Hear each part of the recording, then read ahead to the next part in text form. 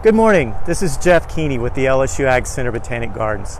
This morning we're going to take a virtual tour of the gardens and let you know a little bit about what we've been doing during this quiet time and also about what goes on at the Botanic Gardens. So I'm going to start with uh, the Steele Burden Memorial Orangery right here in the background.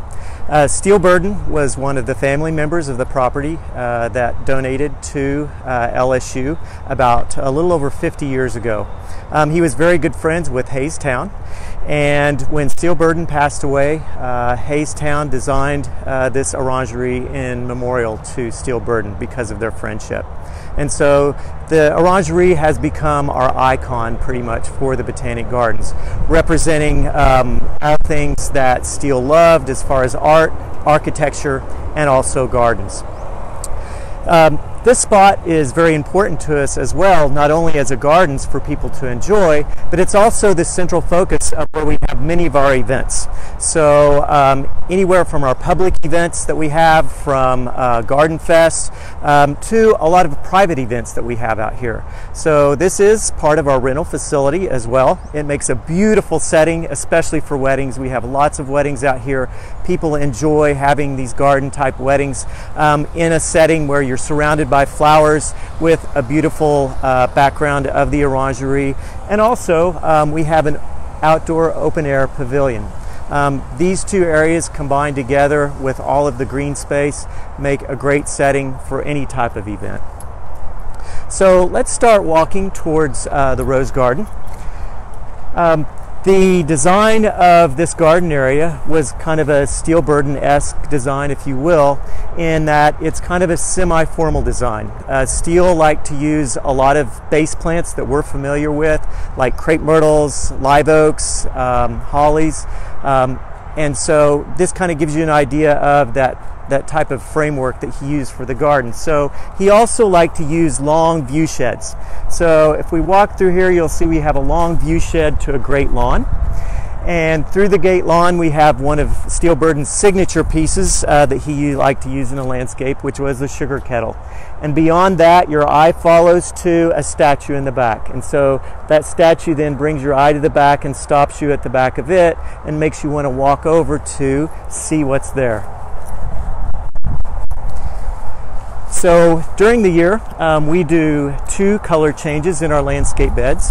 Um, we do a lot of annuals in here. Um, we use a lot of the newer annuals so people can get an idea of what they would like to plant in their yard or in their landscape beds.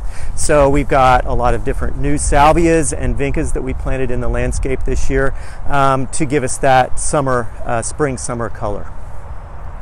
As we walk towards the rose garden, um, I'll just mention that we are part of two uh, national rose trials. Um, one is called ARTS, American Trials for Rose Sustainability, and AGRS, American Rose Gardens for Sustainability. And so these two national trial programs um, are looking at um, the different types of roses that rose breeders are coming up with for home landscapes. And they're especially focused on roses because sustainability is in their names, uh, roses that are more sustainable in the landscape, so that have more disease resistant, insects resistant, and also don't have to be deadheaded and managed as the traditional hybrid tea rose goes.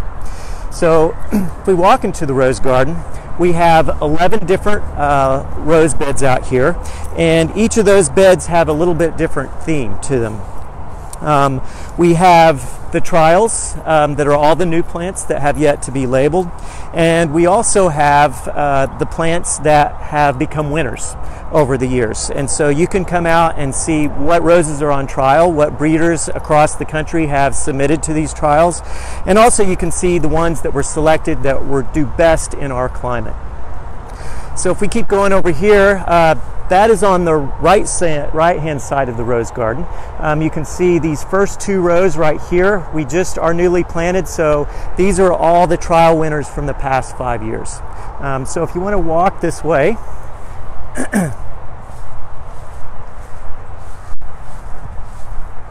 we'll look at some of these winners.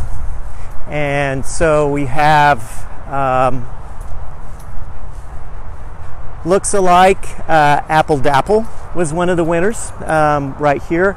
Um, so they have a lot of curious names, if you will. if we keep walking over here, um, you can see, and we're labeling most of these, but this one's uh, an AGRS winner for 2016. Um, this is Thomas Affleck. and so if we look right here, you can see it's got kind of a beautiful lavender flower to it. Now these roses look quite young because they are. We just planted this bed this spring. So if you come out um, when we open up, hopefully very soon, um, you'll get to go through and see all of these beautiful win- uh, winners of the different roses. Updates? So, where would we find updates? So, you can find information about these roses at our website. That's lsuagcenter.com backslash botanic gardens. And we have a list of all the winners, the pictures of the winners, and also information on all the different winners. Oh, so for openings and closers, so our time frame and our schedule. Um, right now we're closed until further notice, but we're hoping we're going to be opening up in another week. And you can also go to our website or our Facebook or Facebook or Instagram site and find updates on information when we're going to be opening up and the different activities that we have ongoing. Dr. Owings says, "Let us have a Rose Info AM in the gardens this fall." Okay. We actually, if you go to our Facebook, we also have um, a, a, special rose session where Wanda Ellis talks about the different winners um, of the rose trials that we have out here. So just go to our Facebook and you can see that video posted there. Yes, thank you. So we are in the midst of National Public Gardens Week this week. Uh, National Public Gardens Week is set at this time every year in May, and it celebrates all of the public gardens and arboreta across the United States. And so we are a participant in that. Um, this week, uh, we are doing a virtual uh, National Public Gardens Week, of course, because of the the situation we're in, but um, we are today celebrating uh, Volunteer Appreciation Day. And so if you go to our Facebook or our website, you'll see a list of the different programs that we're having each day in the gardens. Tell them the Facebook name. Okay, the Facebook name is LSU Ag Center Botanic Gardens. So, not just Botanic Gardens, you got to get the LSU Ag Center in there because that's part of who we are. So, um, yes, if you go to that Facebook site, today we're celebrating our volunteers. And as we walk through the gardens, you'll see a lot of beauty that is maintained by a lot of volunteers. So, this rose garden, we have a group of volunteers, a group of ladies that come out and they deadhead these roses and help us prune them, fertilize them, and do all of the maintenance and care for them over the year. So we wouldn't be here or whole without our volunteers. So we greatly appreciate all that they do, and we hope that you guys do too. So we'll walk on through the rose garden. Um, as we walk through the rose garden, um, I'll talk a little bit about some of the other things we're doing for National Public Gardens uh, Week. Um, we're also uh, had a session on mint juleps um, yesterday. This day is volunteer day. Um, tomorrow we're going to have um, some uh, lessons on how to cut flowers from your own backyard and do a design. Uh, we've got Harriman's Florist that's coming out with Missy, one of their top florists, and she's going to be doing some design work that she'll show you how to take plants from your own backyard, cuttings, and make a wonderful design for your own home. Um, we also have another one for kids, Kitty Bull, on Saturday because we can't have our Children's Day. Um, she's going to uh, let everybody know how to build a fairy garden with your kids to put in your garden. So that's going to be really cool too. And again, um, some of the people that are doing these videos are our volunteers that help support us. So Walking through um, the Rose Garden, I'll also mention that we are 440 acres of green space in the middle of Baton Rouge, for those of you who don't know us. Um, we are not just a Botanic Gardens, but we are also one of the research stations for the LSU Ag Center. So we conduct a lot of different research besides doing the rose trials. Um, we also research uh, fruit and vegetable research uh, in horticulture areas, but we also have some small crops research out here. So, for example, one of our faculty is doing research on different varieties of field corn. Um, other things that we do out here, we work closely with the Department of Renewable Natural Resources with the LSU and LSU Ag Center. And so we have a lot of different wildlife uh, research uh, projects going on here. One that's very interesting right now is we have uh, Dr. Ashley Long, who did a video on Monday on backyard birding. Um, she's working with her students on uh, urban bat populations. And so she just put up with our arborist uh, three different types of bat houses out here to determine uh, what types of bats we have in the area and looking at bat conservation in, in urban woodlands. Um, speaking of urban woodlands, uh, to the back of the orangery, you can see the big trees in the back. Um, we have about a four uh, mile trail system um, that takes you through the woods and identifies all of the native trees um, that are in the woods. So um, if you walk through the woods, you'll not only get a beautiful kind of release in nature, um, but you'll also be able to learn a little bit about the native trees and shrubs in our woods and how they're important to our landscape. Also, I'll mention in the rose garden, uh, we're passing some of the different uh, roses. This, these are themed roses. These are all the Kordes roses um, that you can come out and see. These have been established uh, for about 10 years now, and this is a series of shrub roses that will do very well in your landscape. Yeah, we sure can. So a lot of these roses, um, we prune our roses in February so that we get a nice flush of bloom, usually in uh, into March into April. And so we just had a beautiful flush of bloom, um, and we're getting ready for a second bloom. Uh, this is one of my favorites right here in Wanda's too. It's called Plum Perfect. Beautiful rose. Um, again, very disease uh, and insect resistant uh, or tolerant, I should say. Um, but the other thing is, you can tell our volunteers haven't been here, so we haven't deadheaded recently, which even with these shrub roses, um, you're going to get more flowering if you do deadheading. So that's something that um, we do on an ongoing basis throughout the year.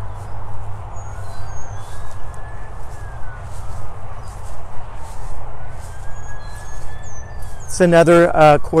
Uh, this is these are a little shrub uh, slash hybrid tea roses, so they not only look great in the landscape, but they also make good uh, cutting roses to bring inside.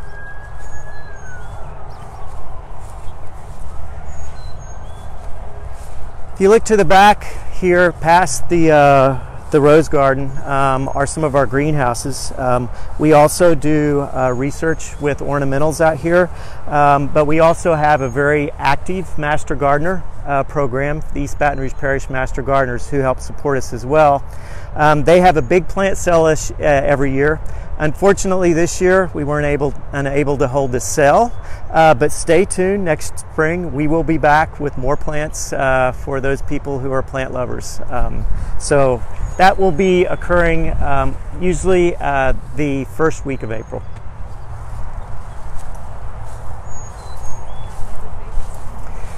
Um, there's another favorite of mine, and it's actually over here on the other side. We'll walk to it right now. Um, it is raspberry swirl, and it is really a climbing rose. Um, it can be used in the landscape as a, a shrub type rose or hybrid tea type rose, but um, it does get big, so it's going to have to have continued uh, cutback. But one thing that's nice about raspberry swirl is um, it, because it's so vigorous, um, it doesn't have to be deadheaded as much and will just continue to produce new shoots. Um, and really, more so in, again, the spring and again in the fall, we have a next flush of blooms. So we'll come back in here um, usually about August, do a major pruning again so that we'll get another flush of roses in bloom um, for the month of October. So this is raspberry swirl right here. And it's it's just, uh, I'm sorry, I said raspberry swirl. Allen Owings is probably cringing. It's raspberry cream twirl. That's gorgeous. So, walking through the roses, we'll come to the other side here, and we're going to go through what we call the oak grove. Um, besides uh, being a research station and a gardens, we also have a message-centric audience that we focus on, and that is children and young families. So we've done a lot of work in these past 10 years of building gardens that children can enjoy and also learn from. Um, the Oak Grove here um, is a garden that was built really by our arborist, and he has different types of activities that kids can do in the Oak Grove, in the shade, um, that kids can kind of just enjoy nature and hopefully as they enjoy nature learn a little bit about the trees and plants that are, are that surround them. So we also have if you notice an understory here of shrubs and these are part of our camellia collection. Um, we have the Vi and Hank Stone Camellia collection here at the front of the property. Uh, this collection uh, was a donation about probably almost almost 20 years ago now of camellias from Vi and Hank Stone, who had a small postage stamp lot over by Catholic High here in Baton Rouge. And when they passed, uh, their daughter um, came to Dr. Hegwood, who was the director at the time, to see if that collection couldn't be moved to Burden. So, with a lot of hard work, sweat, um, with the Burden staff, and working with the uh, the Stone family, um, a majority of their camellias uh, were moved to the property. So, we have right now about 400 of their camellias. So, these are a lot of camellias that are known worldwide, but also some camellias that they actually bred themselves. So they were camellia experts. We've also been adding to the camellia collection over time. So if you drive through the property, you'll see other parts of the collection. Um, we have in the back at Barton Arboretum a collection of pre uh, camellias that were here to in the United States pre 1900s. A lot of those camellias are starting to be lost.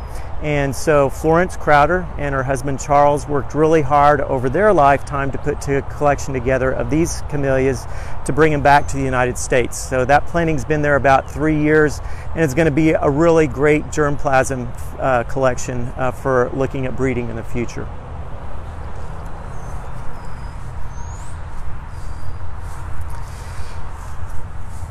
We also have uh, part of the camellia collection in uh, Windrush Gardens. We have a very active Camellia Society, the Baton Rouge Camellia Society, um, that also helped move this collection here, but they do a tremendous job of propagating. So during the wintertime, um, they do, and late uh, early spring, uh, they propagate a lot of these camellias uh, to be sold to the public for their camellia sale. So in February every year, they have a camellia show and sale, and the profits from that sale um, go to help uh, maintaining and taking care of this collection over out here. So one of the things in saying that is you may have noticed with the Master Gardeners, our volunteers, the Camellia Society, um, we partner with a lot of different organizations. Um, those partnerships are very central to the core of what we do out here. For without those partnerships, we wouldn't be able to have this wonderful green space for our community. So we really appreciate um, everything that they do to help sustain us. So back to um, the Oak Grove as part of the shaded area of the children's garden. We have a large hollowed out cypress here, the tunnel that kids can crawl through. Uh, this is something that was taken down by Boffingers here in town. Uh, we have good relationship with our arborists, uh, our tree companies here, and they found this tree and they thought, hey, this might be a perfect thing to bring to Burden. So Glenn Wilson, our arborist, and uh, DeMichael Lucas and Conan put this up here so kids can crawl through and kind of experience what it's like to crawl through a real log. Glenn's also designed some wonderful things for kids. Uh, these are uh, teeter totters that he's cut uh, cut from a chainsaw. Um, he's also got a little balance beam area that kids can play on, and we've also got some uh, toadstools or mushrooms over here. Um, we try to include some signage with a lot of the material that we have out here so that kids and parents that see it, uh, even though they're experiencing it, they may also learn a little bit about what they're actually experiencing. So let's keep walking through here. and we'll head over to uh, the Children's Garden and the Herb Garden. Another organization that we partner with is the uh, Baton Rouge unit of the American Herb Society. And so we've started uh, the first phase, we initiated the first phase of an herb garden for them. Um, and it's basically a kitchen garden that you can learn about the different types of herbs that will grow in your kitchen. It's all raised beds, and so you can learn a little bit about growing um, and maintaining herbs in your own garden too.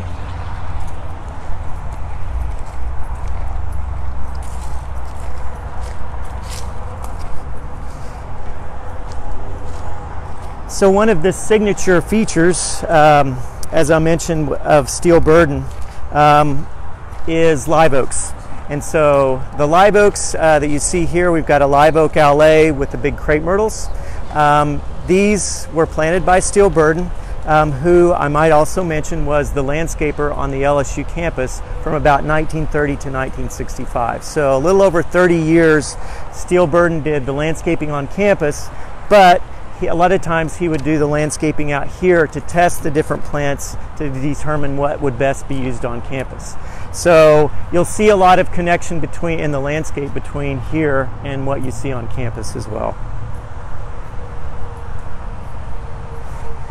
So here we come to um, our first uh, phase of the children's garden. Um, this part of the garden is themed to be used uh, for our educational activities out here.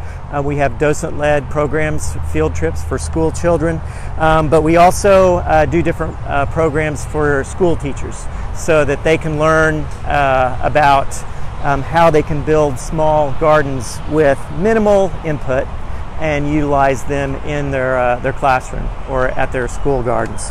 So before um, we started this, um, we really didn't have a place that was uh, good and a safe area for children. And so we decided one of the things that we had to add in here was a little bit of fencing.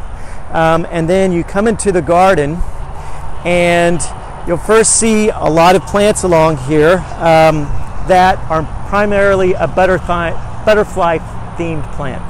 So we have different things. We have cupheas, salvias in here, um, and over here we have a little uh, butterfly area so that kids can experience uh, not only the butterflies but also the plants um, that go along with them. We also, along with this, have backpack activities. So if you come out to the gardens, you can go to the lobby and check out a backpack, and it has activities that kids can uh, do with the children's garden when they come to it and visit. So don't forget to check out a backpack when you come out. Tyler Carr takes care of, of the children's garden. Um, we've made it fun with different activities for them so that they can enjoy the gardens. Um, we've also have uh, a little vegetable garden area over here. Um, this garden we plant uh, with different types of vegetables that are can be utilized by teachers during the semester and that's kind of one of the hard things to do is um, you really got to work with teachers so that the vegetables are planted early in the year or in as early as you can in spring so that their children will get to or the students will get to enjoy some of the bounty of the harvest. So this is a demonstration for school teachers to use as far as planting. And we have information along with the east baton rouge parish master gardeners um, for school teachers. So school teachers are looking for something for next year to do in their classes um, they can check out our website and find that as well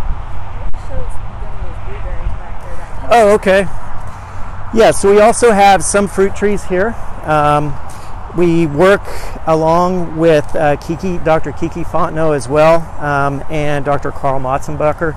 They do a lot of different work with school gardens across the state with the statewide uh, school garden program, um, and so we also help uh, support those their programs as well. So yeah, over here we have ideas on different ways that you can plant uh, in your in your school gardens. Blueberries, the uh, blueberries here are just getting ready to come off. Um, these blueberries like an acidic soil, and so Baton Rouge having more of kind of a heavy clay, um, more high pH soil. A lot of times planting blueberries in containers like this um, with a pine bark sand mix um, is going to give you the acid type of soil that they like, well drained, and as you can see, they'll they'll do quite well. That Vitex is really nice. Yeah, so over here on the other side of the children's garden, um, we wanted to do more education on pollinators. So our education coordinator, Sarah Rayner, um, along with um, the uh, one of the uh, service learning classes, Dr. Mary Beth Lima in agriculture engineering uh, partnered with us, and we came up with a pollinator themed garden, but we wanted it to be an interactive garden.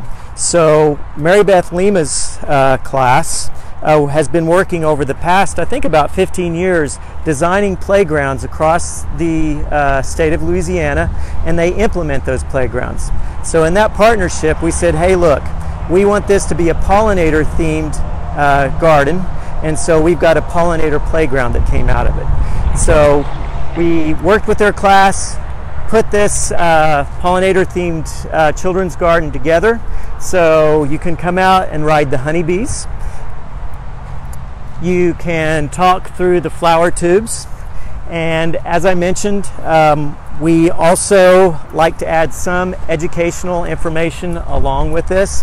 So we have different uh, areas that we've got signage that tells you a little bit about what the kids are playing on. So this tells you about bees, all of their different parts, and how valuable they are to um, nature and to our flowers and our fruit and our vegetable industries. Coming over here, uh, we keep that pollinator theme. Of course, uh, you're not going to have butterflies without caterpillars. So we've got a crawl, crawl through caterpillar over here um, that kids can enjoy, um, along with um, a whole slew of different pollinator plants and also plants um, that are food sources for the caterpillars and the butterflies. So things like lantana again, salvia, um, we've got dill here. Um, dills, of course, is a, a, great food plant for caterpillars. Um, we also have some cupheas in the background, which butterflies and bees love to feed off of. The other thing outside of the children's garden that we've been working on um, is um, developing a, a birding loop area. So I mentioned we have about three and a half miles of hiking trails um, in the woods. So this year uh, we've been working again with Dr. Ashley Long and Dr. Luke Laborde in Renewable Natural Resources, and we've created birding loops, and each of these birding loops are themed. This is part of one of the birding loops up here in front. This would be kind of a residential, what would you consider a residential or a neighborhood birding loop. So we've got bird feeder stations out here, examples of different bird feeder stations and types of bird seed that you can use to attract birds in your backyard. Uh, Sarah Rayner's been working with wild birds uh, here in Baton Rouge to, and they've helped establish these feeders here. And so we keep track of the different birds that we see through different uh, programs like Birdwatch and iBird. Other parts of the loop um, outside of the neighborhood loop is we've got the Woodlands Loop. We also have a wetlands loop um, to the back by the Rural Life Museum and then at the back in the Arboretum, uh, we have an open area that we call uh, the Plains Loop. So you can experience different types of birds with the different habitats that they're in. So let's walk on through here. And so, yes, so we got the, the Peggy Martin Rose, uh, again, is part of uh, one of the as everybody knows, one of the best climbing roses that we have, um, which was a rose found by Peggy Martin after Hurricane Katrina and has been propagated wildly since. So it's, it's something that I think almost everybody, if they don't have it in their home yard, then they should be putting it there.